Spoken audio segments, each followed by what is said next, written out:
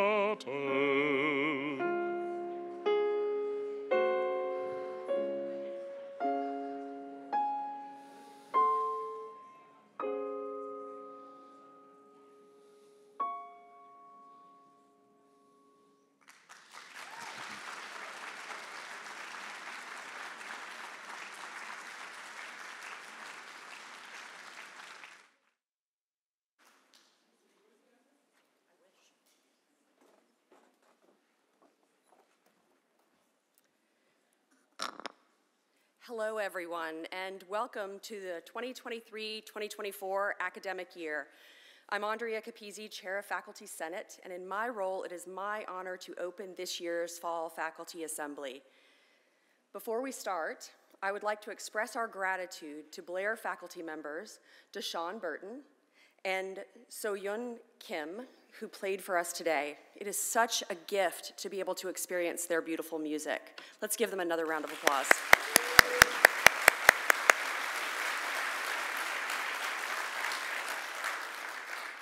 Along with Tammy Hoyt, Vice Chair of Senate, we look forward to serving the faculty this year. Tammy and I first want to thank past Senate Chair Rebecca Swan and past Vice Chair Liz Catania for their strong leadership and phenomenal mentoring last year.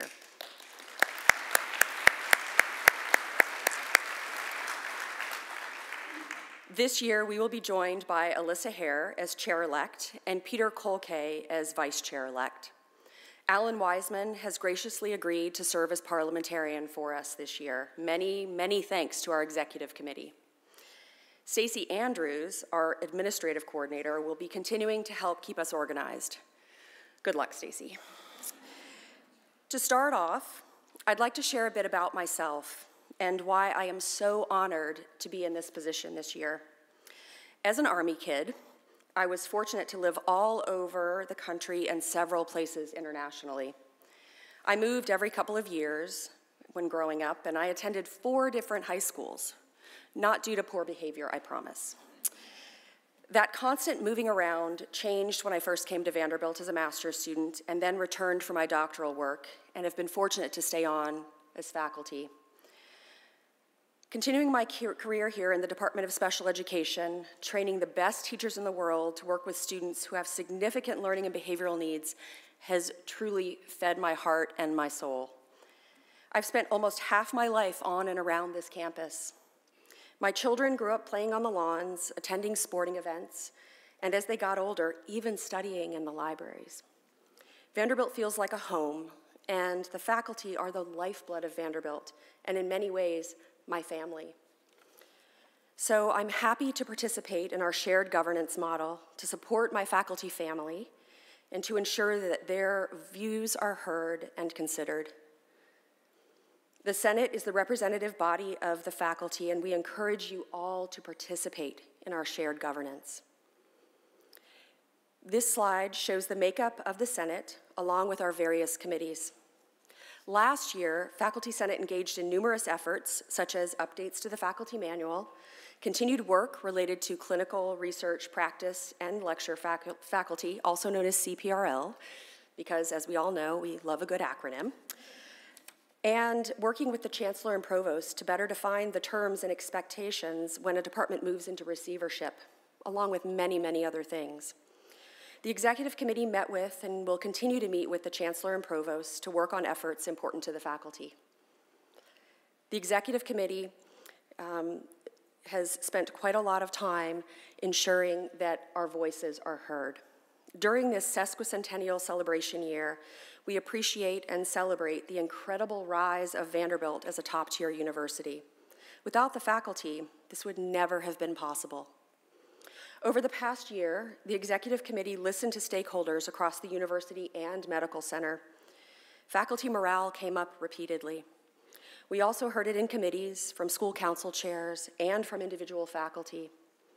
Each year, the Senate chair and vice chair identify a theme for the coming year. Tammy and I have identified feedback and fulfillment forward for the next 150. The feedback component builds on last year's theme of communication and is vital to allow us to identify the pain points as well as the positives. We are curious about patterns and identifying the issues that are most meaningful to our faculty. Later this fall, faculty across the university and medical center will receive a brief, and I promise brief, less than 10 minute survey that we ask you to complete in order to gather this information. We know that faculty are more likely to provide their honest views to their peers, so this de-identified survey will be analyzed within the Faculty Senate. This survey will allow us to prioritize the needs our faculty feel are important to enhancing their work environment and their experience. ultimately leading to optimal fulfillment and productivity in their work.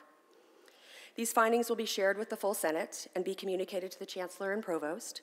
We look forward to working with them on efforts to enhance feelings of fulfillment across our institution, knowing that this leads to greater flourishing, leaving Vanderbilt even better for those who follow us into the next 150 years. In addition to our standing committee work, we will also be considering a review and, if needed, update to our definition and description of academic freedom. An ad hoc committee will be convened to consider what the core of liberal arts means at Vanderbilt for our undergraduates, considering that we have four very, very different undergraduate serving schools. Tammy and I look forward to working with all of you as we serve the faculty and work with the administration in the coming year. Your senators and the executive committee are here for you. We encourage you to engage with us. Our first Senate meeting is on Thursday, September 7th at 4:10 p.m. in the beautiful Faculty Commons building on 19th Avenue.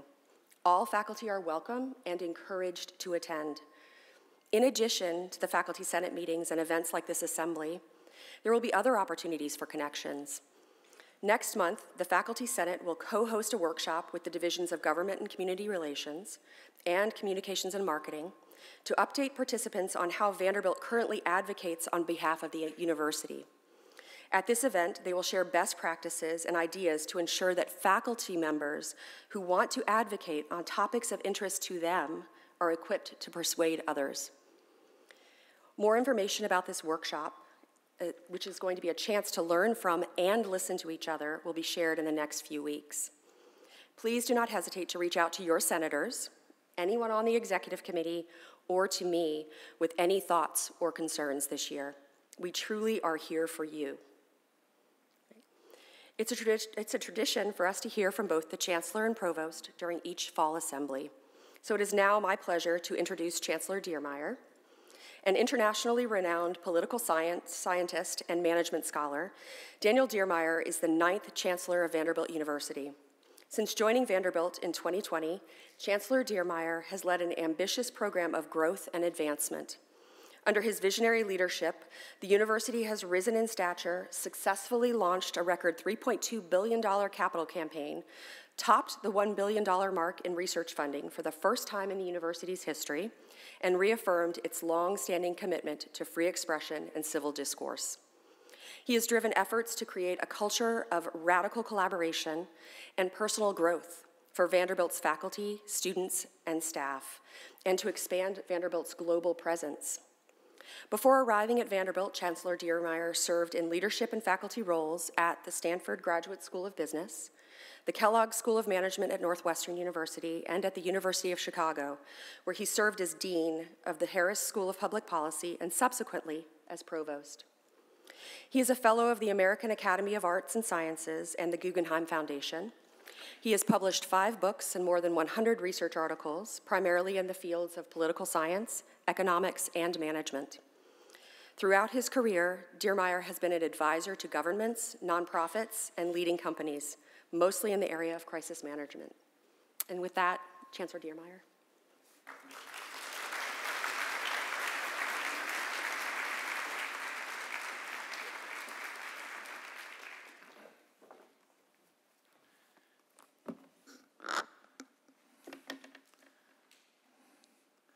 Well, thank you, Professor Capizzi, for this wonderful introduction. And uh, I first want to thank you all for braving the tropical heat to be here. Nothing more important than the faculty fall assembly. So uh, you made that commitment. And then I have to say, um, no better way to start the fall semester than with some Schubert. And, uh, you know, to have uh, Soyon and uh, uh uh, do their wonderful rendition here was just wonderful. And, uh, you know, Dietrich Fischer-Dieskau and Gerald Moore, you have nothing on us. So, um, how wonderful that was.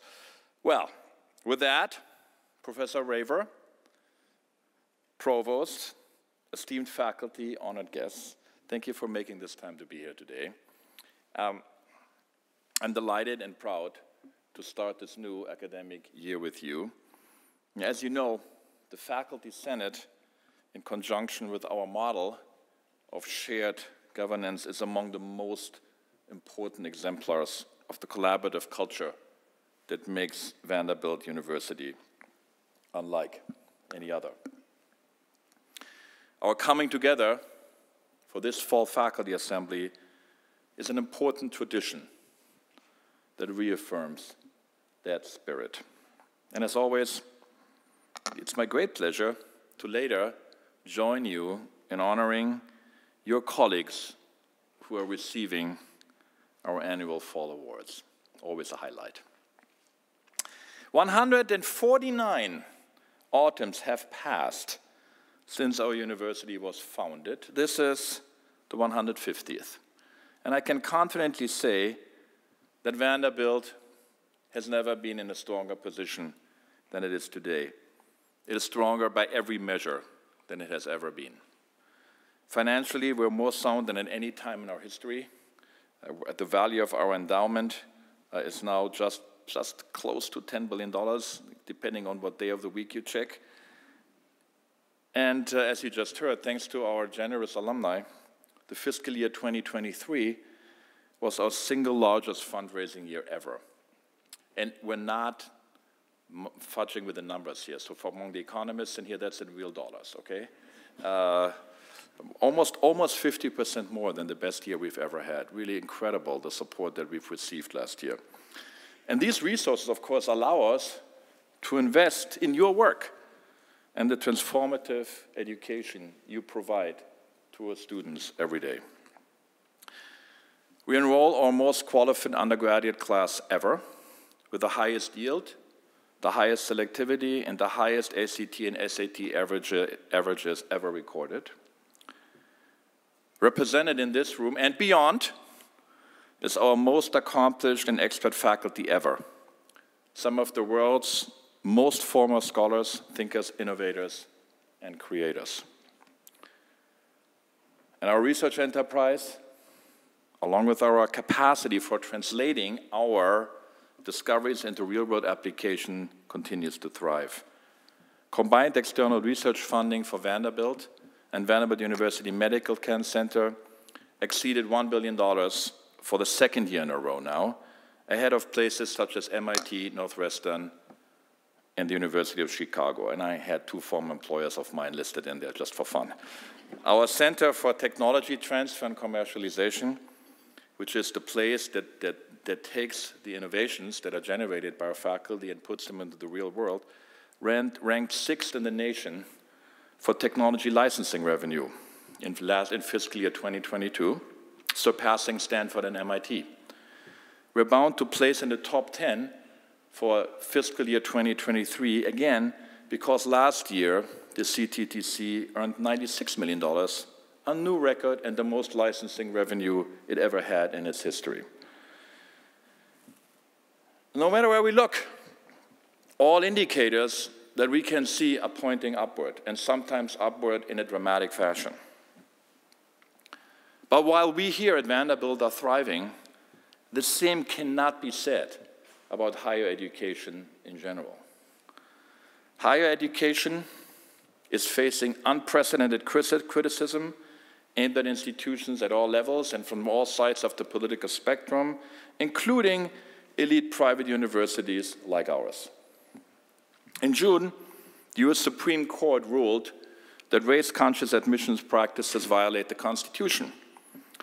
Like many of you, I was deeply disappointed by the court's decision. In my view, a university must be able to enroll the students that allow it to best serve its mission and to deliver an outstanding educational experience for all. Diversity is essential to dialogue, learning, innovation, and growth for every member of our community, and Vanderbilt will always recruit a wide and deep pool of applicants consistent with our academic mission and our core value of equal opportunity for all. The court's decision makes that more difficult for universities, but that said, we will continue the work to build diverse incoming classes and create an environment of belonging for each of them while complying, of course, with the law. A university task force working closely with the Office of the General Counsel is reviewing new federal guidelines related to the court's decisions that were just issued a couple of weeks ago, and will make recommendations on how best to adapt our practices. But the Supreme Court decision is only one of the challenges facing higher education this fall. On its heels are debates about legacy admissions, the future of college athletics, spending levels at public university, university endowments, and the list goes on.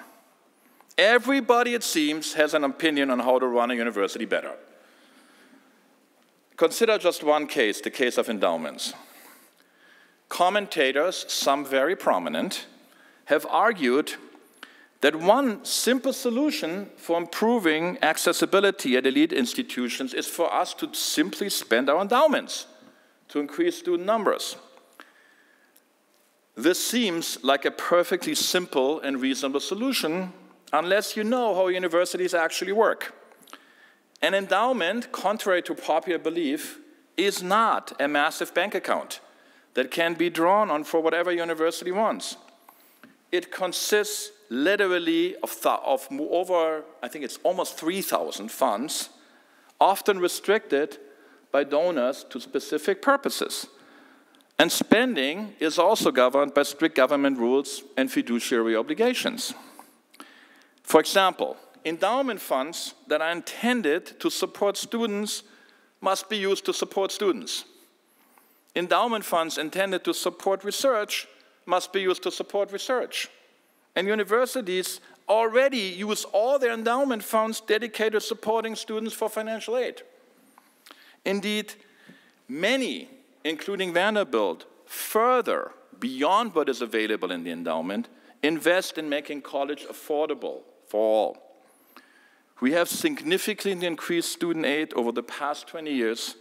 In this academic year alone, we will spend about $170 million from our general funds to defray the cost of attendance for our students, accounting for 62% of undergraduate financial aid overall. What this translates to is that families making up to $130,000 a year in annual income can generally can expect to pay less to attend Vanderbilt than to pay an in-state tuition for the University of Tennessee. Let that sink in for a moment, okay? And of course, less than out of state tuition at most of the highly ranked public universities. For almost a quarter of our domestic undergraduates receiving aid, Vanderbilt provides the aid equivalent to the entire cost of attendance. And while it is tempting to think that opening the doors to more students is the easy fix, unless additional funding is available, dramatically increasing the student body, of course, will also dramatically reduce our ability to invest in our students, and thus dramatically dilute the transformative experience we provide at Vanderbilt every day. You can see I feel pretty strongly about this. And of course, education is only part of a research university's mission. Research must be funded as well. And Contrary to popular belief, federal grants never cover the total bill of research. Many private universities, including Vanderbilt, spend sizable fractions of their endowment on faculty research, between 20 and 40 percent of an endowment's value. And that spending typically covers 25 percent of the research cost. So to put it differently, when you get an award, we add 25 percent in order to make the research possible. These funds do more than fuel your work. A conservative estimate has recently shown that every dollar invested in research yields at least $5 in social gains. Tremendous return for investing in research redirecting research funds to undergrad education alone would result in the knowledge and innovations, in the loss of the knowledge of innovations that benefit all and would effectively destroy the research mission of the great universities. And these insights and the ability to support our students and our research potently remind us about the value of philanthropy. Because without philanthropy, we couldn't make any of these investments. And of course, philanthropy is also much maligned of late. The fact is, supporting world class research university is a tremendously smart move, one that has tremendous social benefits, whether for students or for the world at large. Research universities have for decades been the engines of America's innovation economy and competitiveness. And despite domestic criticism, we are still where America turns for insights into the human conditions or for solutions to seemingly intractable problems, for not just answers, but for solutions. Here at Vanderbilt, we are increasingly fueling your work with philanthropy, and that's the whole point of the Dare to Grow campaign. Philanthropy allows us to invest in you and in our students. And our record here demonstrates the tremendous support of the Vanderbilt community and the confidence and trust in our mission.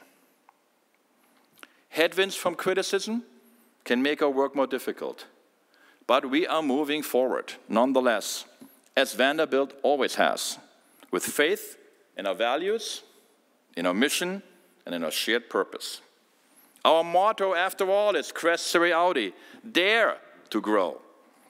It reminds us that growth requires courage and must be earned. So, in this our sesquicentennial year, we continue to pursue our vision of being nothing less than the great university of the 21st century. For we need to remember, we are all together as one community engaged in a noble mission. So we will continue to explain and demonstrate the immense social value of research university like ours to advocate for these marvelous institutions that are criticized here at home, yet they are the envy of the world. We'll continue to advocate for increased funding for research and for additional student support. And we will continue to lead by example. First, we will continue to expand our global presence. In May, Provost Raver and I appointed the university's Global Strategy Committee, which includes faculty from all 10 colleges and schools. We charged the committee with pursuing bold proposals to advance the university's scholarship, reputation, and impact, enhance the student experience, and boost recruiting of global talent. The committee's hard work is already coming to fruition, and we will have several exciting announcements of projects to, to share later this year. In the meantime, we launched our Global Scholars in Residence program in December. We brought more than 700 students from 92 countries to our campus for the Clinton Global Initiative University in March. And international undergraduate students from the Davis United World Scholars Program began studying on our campus as part of this year's incoming class. To fully support your work and to realize our ambition as a university, increasing our global presence and connections is essential. It is the top of my and Provost Raver's priorities every day.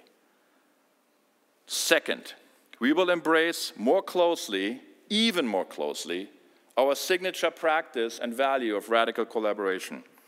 As any of you who have been at other universities can attest, our culture is already like no other in terms of how we collaborate and support one another we are not cutthroat here. We know the best way to succeed as individuals and as a university is by working together. But radical cooperation also means working across all boundaries in unexpected ways. This means we'll increasingly ask you to partner with colleagues working in other disciplines or with external partners and nonprofits, governments, and businesses. We already do such an excellent job in this. There are countless examples large and small, every day. But to realize our aspirations, we must do more. And finally, we will continue our commitment to free expression and civil discourse.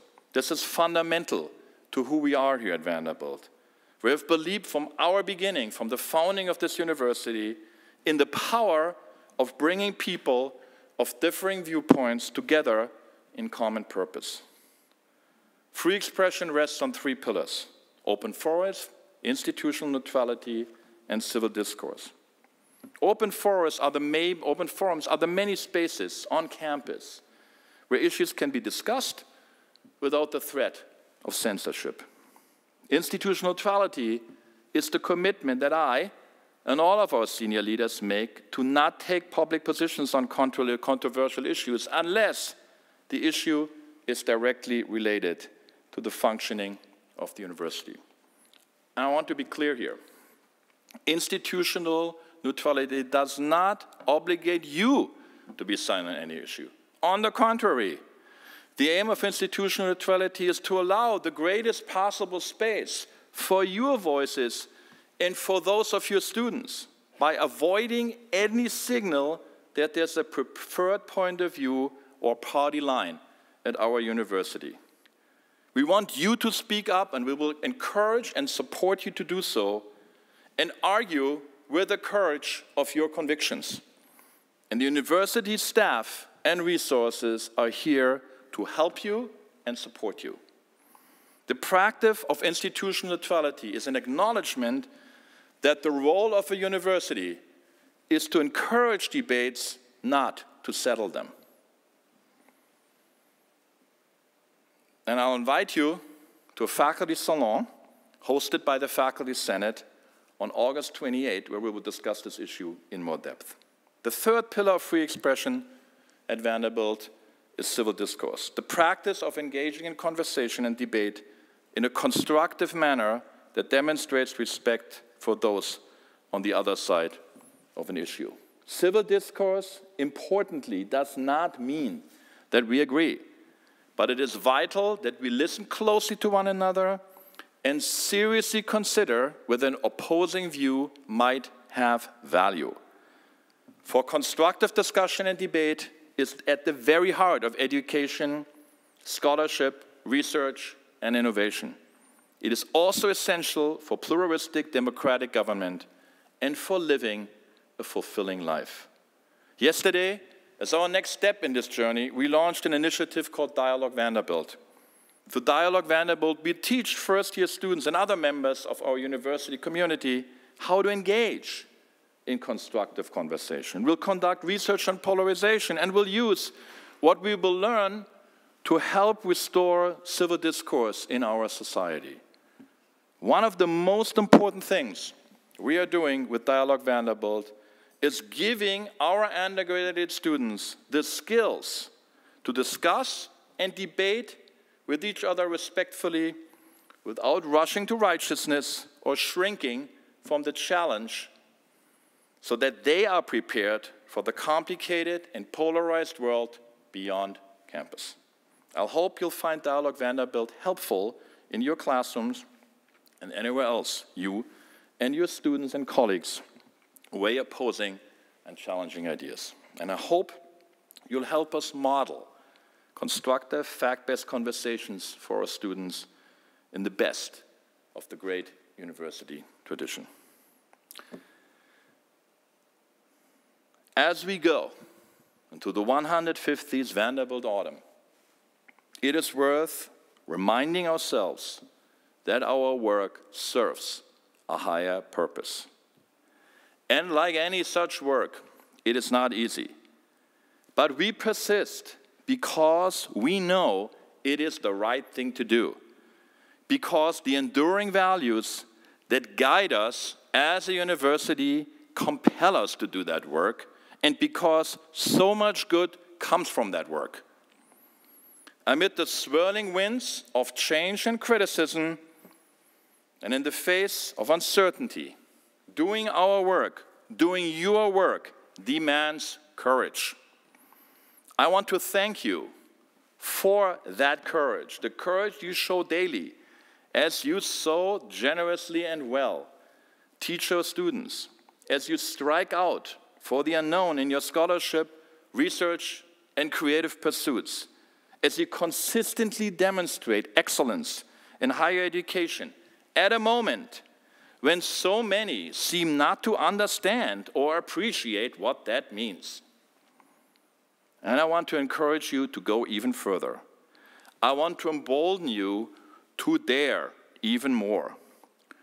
Whatever your discipline, whatever your pursuit, Provost Raver and I encourage you not only to think in terms of small advances, but to understand bold goals that redefine what is possible.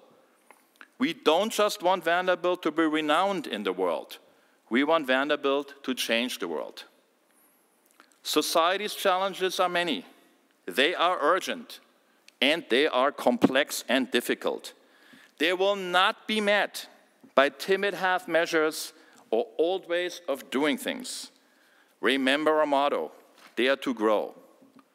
It calls us to show courage, courage to ask hard questions, courage to challenge conventional wisdom, courage to follow the evidence, even and especially when it is contrary to common beliefs, courage to insist on reason and thoughtful arguments when emotions and opinions seem to rule and courage to instill these values in our students, the next generation entrusted to us.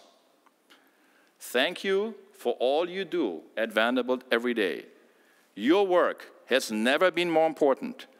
Pursue it with courage, with pride, and with joy. Thank you.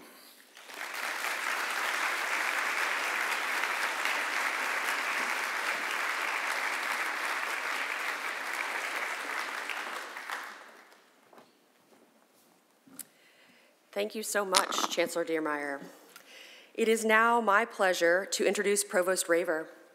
C. Cybele Raver serves as the Provost and Vice Chancellor for Academic Affairs at Vanderbilt University, an esteemed developmental psychologist whose leadership has spanned research, academic, and administrative settings. Provost Raver oversees all faculty, staff, programs, and initiatives for Vanderbilt's 10 schools and colleges. Raver is a fellow of the American Association for Advancement of Science and is the Cornelius Vanderbilt Professor of Psychology and Human Development at Peabody College. Prior to her tenure at Vanderbilt, she was deputy provost at New York University. She has held faculty positions at the University of Chicago's Harris School of Public Policy and Cornell University's Department of Human Development.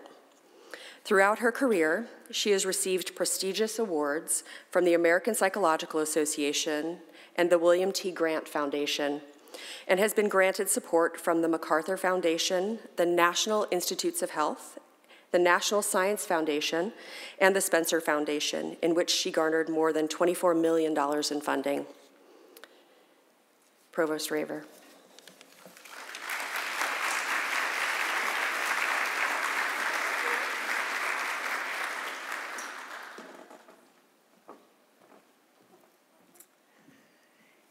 Thank you, Andrea. And thank you to our Vice Provost uh, of Faculty Affairs, Tracy George, and also to her team. And most importantly, thank you to all of you for being here. As your provost and chief academic officer, it's such a thrill each year to be uh, celebrating with you uh, this moment. I really want to thank Chancellor Diermeier for serving as such an inspiring leader and partner as we pursue this vision of transforming higher education. That is so incredibly bold, and we mean it so sincerely and with such great confidence. With you, we aim to set the defining standard for the power of rigorous research, innovation, and education to benefit the economic and social fabric of our nation and our world. And to do that, I need each of you. I need all of you. Brilliant, creative, scholarly leaders, investigators, teachers, instructors, contributors, and innovators. Each of you does cutting edge work. That's what brought you to Vanderbilt. That's what keeps you at Vanderbilt. It is that future that you see and the future of your fields, as well as the future of the next generation of students, that inspires you and to whom you have committed so much. But you might ask, what leads me to be so confident in this vision that Daniel Diermeier and I have outlined or are outlining? And what, why am I so confident in this vision that we have set out? Well, I've been here for two years, and I've spent a lot of time looking at and reading and listening to your work and communicating and talking with you and talking to others about you. You have served with me on committees, task forces, decanal searches. I've visited your classes, your departments, your town halls. Um, I know that this faculty is extraordinarily excited to take risk and so ready to lean in to the power of discovery.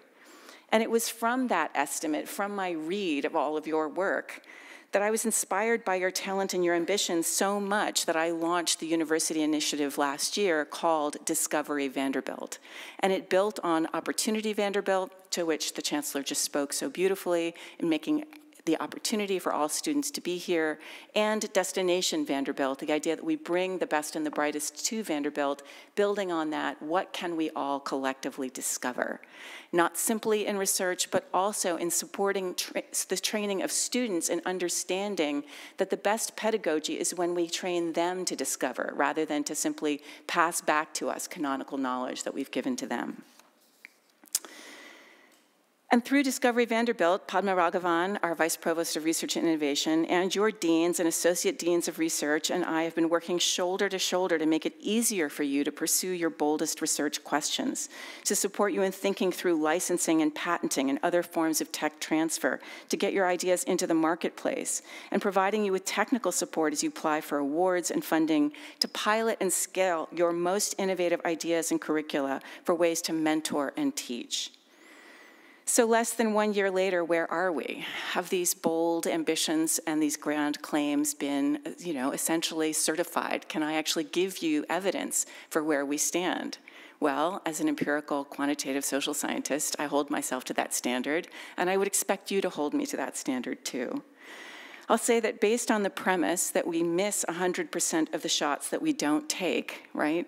I'm not a kid who grew up playing basketball. It was pre Title IX, but I've been taught this phrase of, you know, you miss 100% of the shots you don't take. That makes sense. I watch basketball, I get it. I look at how often do you all take the shot? How often do you apply for federal or state or private foundation funding or support for your teaching? And I am really, really deeply moved to see that our faculty applied for over 1,300 grants and awards in the last year, going from a steady state in grant seeking to actually a significant increase. You all increased the number of middle sized grants, which I think of as about 1.5 to $5 million in funding, by 21%. And you increased large grants over $5 million in funding, suggesting that you're going after really complex, bold ideas particularly in the sciences and engineering, of course, but we know that big grants uh, in the humanities, though they are numerically smaller, are equally important. We see a full 33% increase in the number of those very large grants. So, what does that tell me? That tells me that you are more ambitious, more emboldened, that you are swinging with a bigger bat, to mix my sports metaphors, which is probably a terrible idea, pursuing bolder and more complex projects. You're hitting it out of the park, essentially, on individual and collective success and securing those awards. But as my colleague Jennifer Pietenpol says, it's not really about the money. We know that research is not costless, but it's really about the impact. And that's what I want you to take away from today. Today, we're looking at how much you're going for it in the next few years, we're going to be looking at what is the impact of your scholarly effort. And I would love your input and your ideas for how we actually estimate that. So, in thinking about that, we are not only thinking about it in terms of how exciting it is to me as your provost, but how strategically smart it is. We're moving up dramatically in terms of our rankings, but that also allows us to continue to recruit and retain the world's most stellar talent and contributes to this incredible, vibrant ecosystem of which you are so central and of such a part. So with that, I want to give a quick plug to say keep your eye out for Vice Provost Raghavan's Innovation Catalyst Fund because we look in, in similar ways at innovation and at tech transfer as an opportunity to leverage the marketplace to have the largest impact possible regarding your scholarship. And on the teaching front, you are demonstrating the same level of stellar ambition, dedication, and collaboration. I had a fantastic window, window into this in the last 24 hours. So in the last 24 hours, I visited Professor Slayton's course on syntax and music, which was brilliant. It was on composition, very, very cool. I got a chance to go to Dr. Hare's course on organic chemistry and arts and science, where I literally heard one student saying to another student, I'm so happy to be here. I'm so excited for this course, right? I mean, for Orgo, that is amazing. Um, and I had a chance to attend a Nashville business breakfast with, I'd say, about 40 business leaders, many of whom were CEOs, many of whom were Owen grads, including uh, a faculty member, uh, Kelly Goldsmith was there, um, who actually would come up to me unprompted to say, I loved my experience at Owen. That's the kind of energy that you all are generating and supporting as you train the next generation of leadership as you develop a powerhouse core curriculum for undergraduates, as Sarah Igo and so many other faculty have done in arts and science, or as you work so successfully with Amy Johnson and Tiffany Tung to scale up immersion experience. As just one spotlight of that, I read in MyVU the ways that one of our seniors, J.J. Johnson, who's graduating obviously uh, in the spring, had not only pursued his lab assistant role in Steven Townsend's lab in chemistry, but had also completed his immersion project by writing poetry through the creative writing program in arts and science, and I see that Major Jackson is here, and is now completing a chemical engineering internship, and I'm thrilled that Chris Roy, our new dean, is here, um, while also pursuing extracurricularly ballet. Now, like, that is so beautiful and so amazing and so incredibly powerful in terms of thinking about really generating these wide, broad minded powerhouse leaders for the next generation. It's true when you partner with Dave Owen at the Wond'ry to support students' emerging leadership as founders and social entrepreneurs, or when you provide me with recommendations on how to extend our global reach in attracting and training some of the best graduate student candidates from other nations with Bunmi Olatunji and Andre Christie-Mizell in the graduate school. In short, today gives me an opportunity to emphasize how far we have come, but really, truly, how exciting it is for us to move forward. So let me just spend a few minutes talking a little bit about how we move forward together.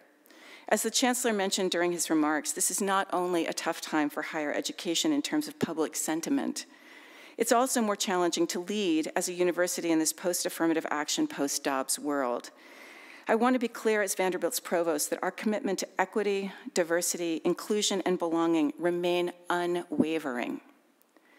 I lead from the principle that to do our best work and to make our best decisions, we need every voice at the table. We need each of you and all of you at that table a demonstrated track record of walking the walk on strengthening institutional diversity and ensuring a sense of belonging for all members of our community, and particularly for those of us from marginalized and minoritized communities, is fundamental to our values and fundamental to the way we work, and will continue to be so.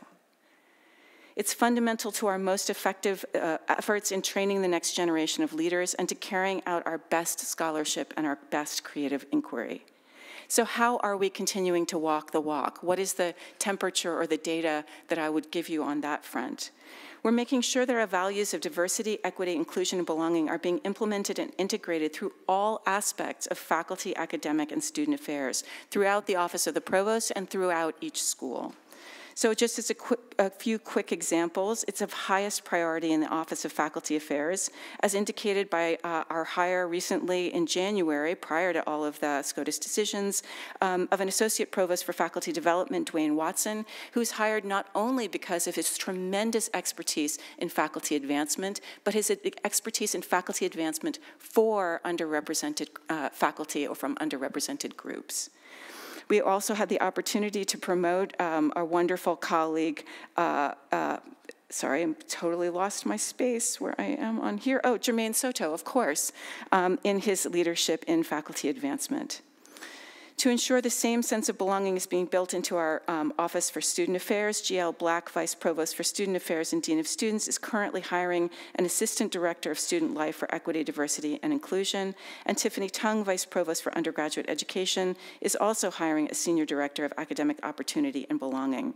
These positions will strive to champion EDI and our principles of inclusiveness and collaborative community throughout all students' experience. And I could give you longer lists, but I don't think it's necessary. I just want this to be really clear that they stand as bright examples of our continued and increased dedication. We believe the more equity, inclusion, and opportunity are really creating space for pe more people at the table, it gives us greater capacity for higher caliber and more uh, really, truly, deeply impactful uh, work across both our research and our teaching missions. It ensures that this culture is instilled in every aspect of Vanderbilt University, and it's not only our responsibility as human beings, but necess necessary for us to advance our mission as a university and as a leader in higher ed. So, in closing, I want to emphasize how much these pillars of discovery, of dialogue, and of diversity, inclusion, and belonging place us in such a powerful position as we think about how to transform higher education in the years ahead. In this time of skepticism and uncertainty, we have the opportunity to step into that breach and actually lead in a moment uh, that I think where the ground is a little bit uncertain uh, unstable. And we can and do have tremendous social and economic impact on our cities, on our region, and the world. This is now the time to actually make that manifest and absolutely clear. I cannot wait to see what we accomplish together in this academic year, and I so deeply thank you.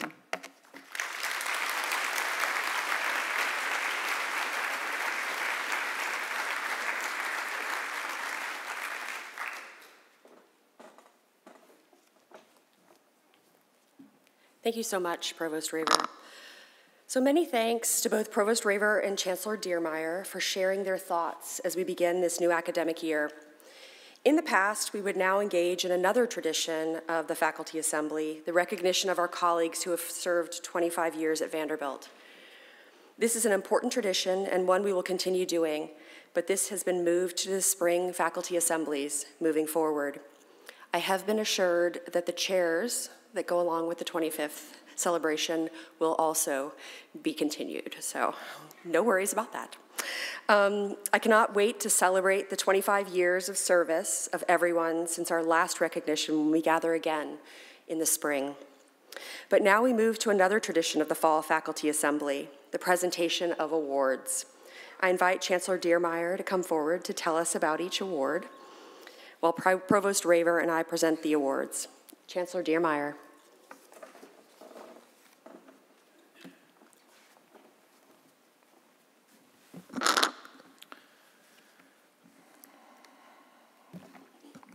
We'll begin with the Chancellor's Awards for Research, which recognize excellence in works of research scholarship and creative expression published or presented in the last three calendar years. This year we are presenting five awards to five faculty members. The first recipient of the Chancellor's Award for Research is Jonathan Brown, Associate Professor of Medicine.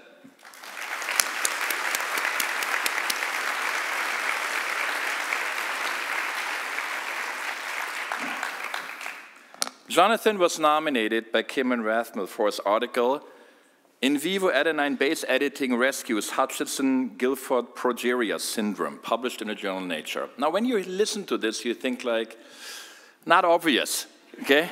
not obvious, but remember how I told you about the tremendous impact that the work of our faculty has. So, children with Hutchinson-Gilford progeria syndrome suffer horrible disease. It's a premature aging condition and children die at a median age of 14 from heart attacks and strokes. Currently, there's only palliative care drug treatments for these children.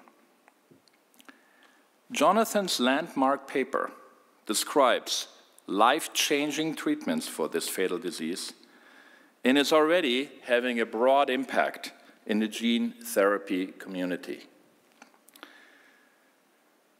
The quality and comprehensive nature of his study have influenced how investigators are evaluating DNA editing. I just like, I think just a wonderful example of exactly what we were talking about earlier. And of course, Jonathan has received accolades already for this paper, including the 2023 Vanderbilt Biomedical Prize that advances science and changing lives. Congratulations, Jonathan.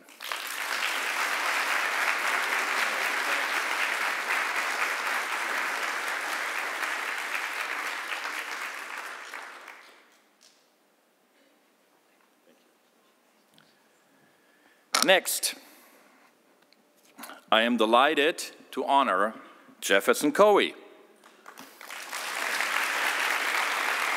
James C. Stahlman Professor of History. Jeff was nominated by Emily Greble for his Pulitzer Prize winning book, Freedom's Dominion, a saga of white resistance to federal power. The Pulitzer, word, the Pulitzer Board had this to say in praise of Jeff's work. This book radically shifts our understanding of what freedom means in America. It is a resonant account of an Alabama county in the 19th and 20th centuries shaped by settler colonialism and slavery, a portrait that illustrates the evolution of white supremacy by drawing powerful connections between anti government and racist ideologies, and a riveting history of the long running clash between white people and federal authority. As Jeff has noted, although this is only the story of one county, there's much to learn about an entire country's need for a vigorous commitment to our democratic institutions. Congratulations, Jeff.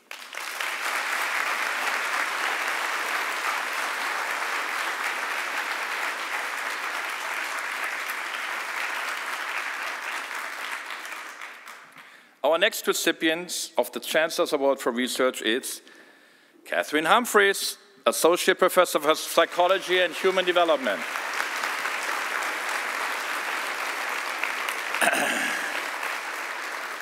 Kathryn was nominated by Dean Camilla Benbow for her piece, Child Maltreatment and Depression, a meta-analysis of studies using the childhood, childhood trauma questionnaire published in Child Abuse and Neglect and selected as that journal's 2020 article of the year. Depression, of course, is a significant public health concern and a leading cause of disability worldwide. Understanding the causes for depression is crucial for reducing the risk for this debilitating disorder. Kathryn's studies works with a widely used dimensional measure of child maltreatment the Childhood Trauma Questionnaire. By conducting a meta-analysis, the study documents that the severity of stressful experience in early life is associated with increased risk of depression in adulthood. This study is the largest to examine the association between child maltreatment and depression using a single measure. Congratulations, Catherine.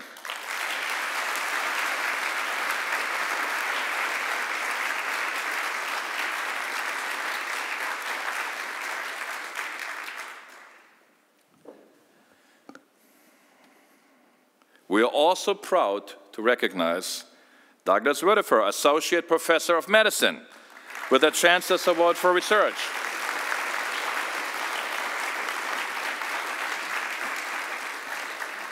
Douglas is a, is a, is a, looks like he's a victim of the heat, but I'll, I'll tell you anyway what he did.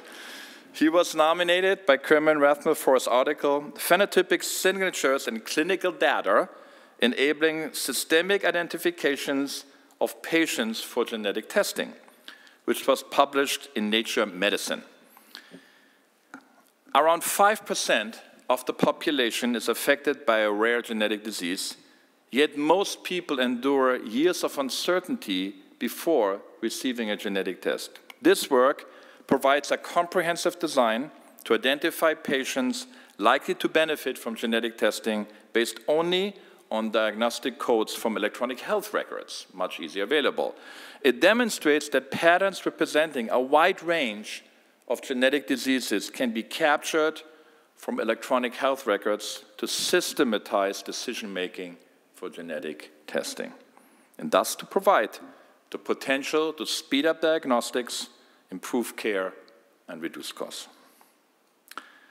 Compared to the current standard, this model would allow many more genetic disease patients to be identified much earlier in the course of care. Doug, going once, going twice, going third. Congratulations, Doug.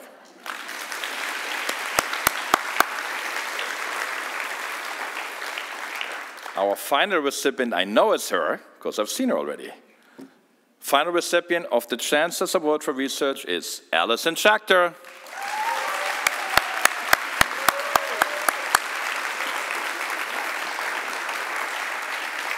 Alison is professor of Jewish studies and professor of English. She was nominated by Jennifer Fay for her book Women Writing Jewish Modernity, 1919 to 1939.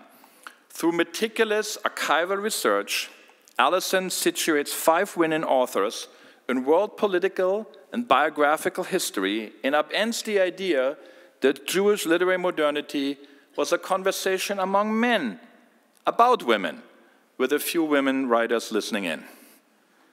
Instead, women writers revolutionized the very terms of Jewish fiction at a pivotal moment in Jewish history. This book tells their story. And in doing so, calls for a new way of thinking about Jewish literary history that incorporates women's voices. Alison's comparative approach helps us to appreciate that bigger picture and teaches its, lead, its readers why literary history matters and how the history of modernism could have unfolded differently. Congratulations, Alison.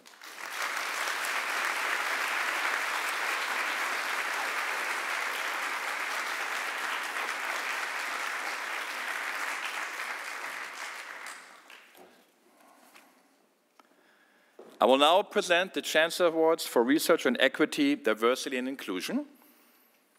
This is an honor that we're presenting to two faculty members this year. This award recognizes excellence in published research, scholarship, or creative expression that advances our understanding of equity, diversity, and inclusion. The first award goes to Alison Anoll, Assistant Professor of Political Science.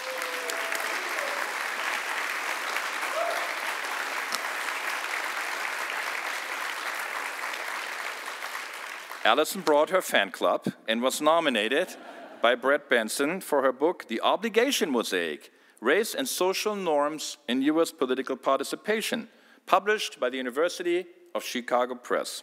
In The Obligation Mosaic, Allison investigates how different racial communities develop norms of political participation.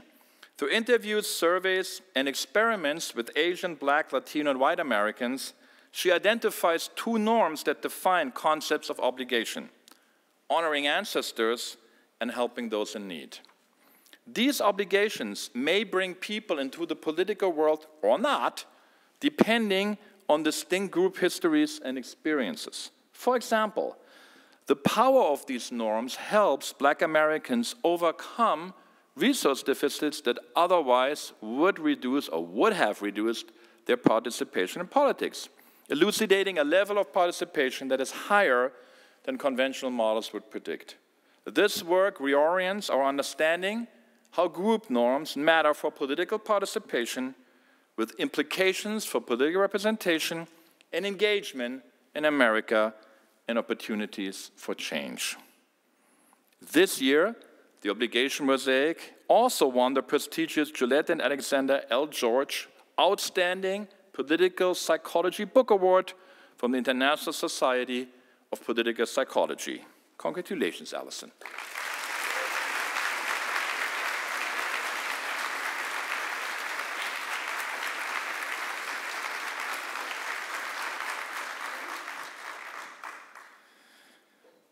Second Chance Award for Research on Equity, Diversity, and Inclusion goes to, and I know she's here as well, because I've seen her already, Consuelo Wilkins, Professor of Medicine.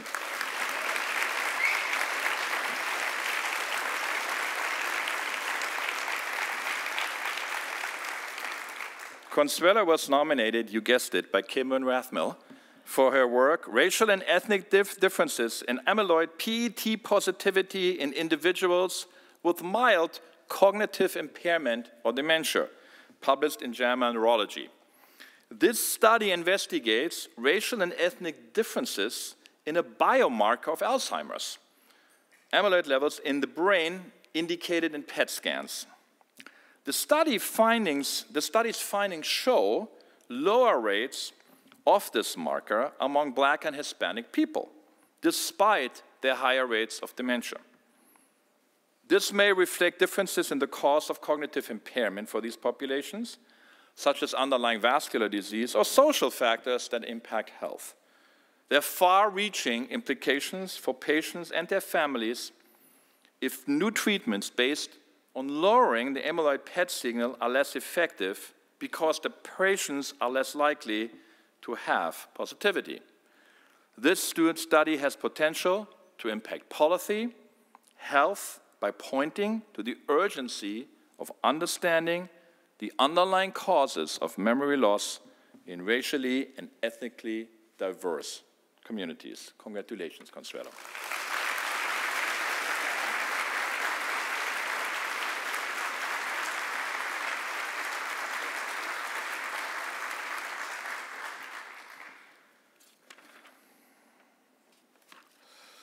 Our next award is the Thomas Jefferson Award, which honors a faculty member for distinguished service to Vanderbilt through extraordinary contribution as a member of the faculty in the councils and government of the university. The recipient of this year's Thomas Jefferson Award is Catherine McTamaney.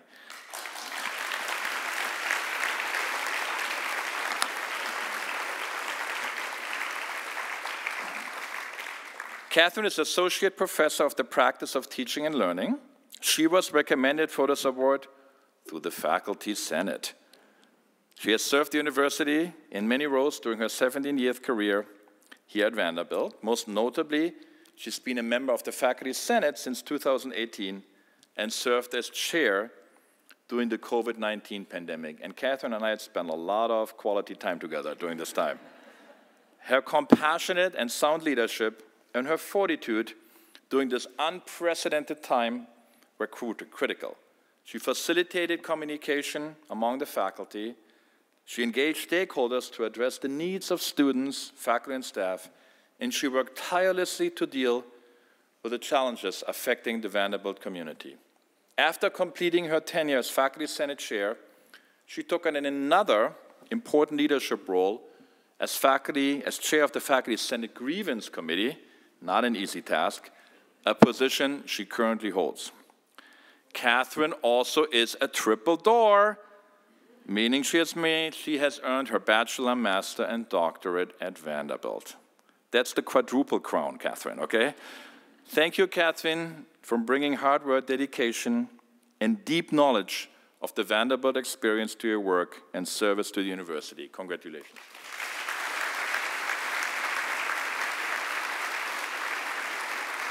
Chris was nominated for this award by Dean Chris Guthrie. By all measures, Chris is one of the most influential criminal law professors in the country, gaining national recognition and international acclaim beyond the legal community with his interdisciplinary work that connects criminal justice, psychology, and science. his research focuses on broad problems in criminal law. From his early focus on appropriate use of expertise in, court, in courts to its current work on the ethical implications of the possibility of predicting criminality. The impact and volume of his work are impressive. Seven books and more than 200 articles on topics relating to criminal law and procedure, mental health law and evidence, 170 citations by US state and federal courts talk about impact, and he's also been cited in five different US Supreme Court decisions. Chris has also appeared on Good Morning America, The Today Show, National Public Radio, and other popular media outlets, sharing his research with a wide audience. Through his incisive and prodigious scholarly work and his broad engagement He is shaping the national conversation on vital topics including search and surveillance, AI, and criminal procedure, and mass incarceration. Chris, my sincere congratulations on this tremendous honor.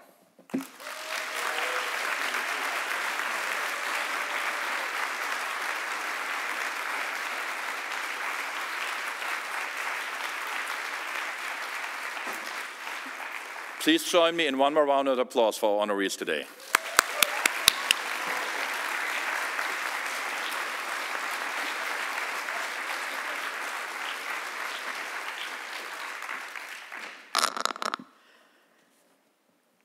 Wow, I feel like I need to go do lots more work.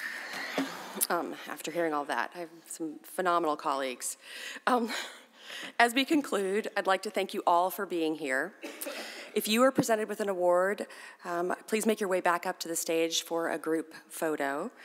Um, everyone else, thank you so much for attending, and I invite you to join us in the Board of Trust room for a reception. So the reception is inside, thankfully, not outside. The Board of Trust room is this way. Thank you all so much and have a great academic year.